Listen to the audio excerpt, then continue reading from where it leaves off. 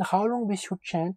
Ultimately, if it is if you are beginner, that means you have never chant, try to chant sometime at least half an hour to one hour per day. Sit down chanting.